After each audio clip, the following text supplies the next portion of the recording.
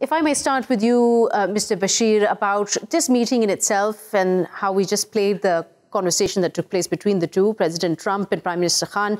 What are your sentiments when you hear the kind of words they're using, the terminology they're using uh, with each other?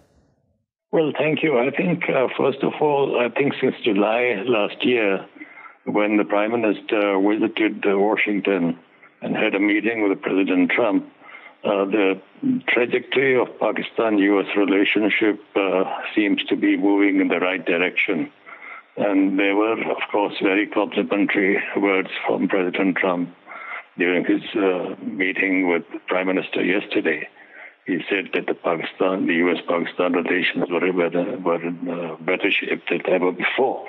So I think that is all good. I think Pakistan values uh, uh, the U.S. support, uh, especially at the bilateral level.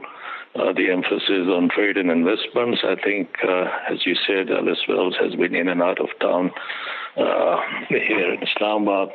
And I think the, the picture is looking definitely much better.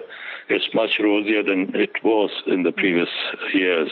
So you're seeing Sorry, go ahead. Yeah, as far as the, the general situation is concerned, the regional situation, of course, there are concerns uh, as far as can, uh, Pakistan is concerned uh, regarding uh, the situation with Kashmir, uh, the situation with India, uh, the ongoing efforts for some sort of arrangement uh, between the U.S. and the Taliban relating to Afghanistan. Mm. And that to that has been added the, the tensions vis-a-vis U.S.-Iran. So I think uh, Pakistan sort of figures uh, somehow in this region uh, in all these concerns. Mm.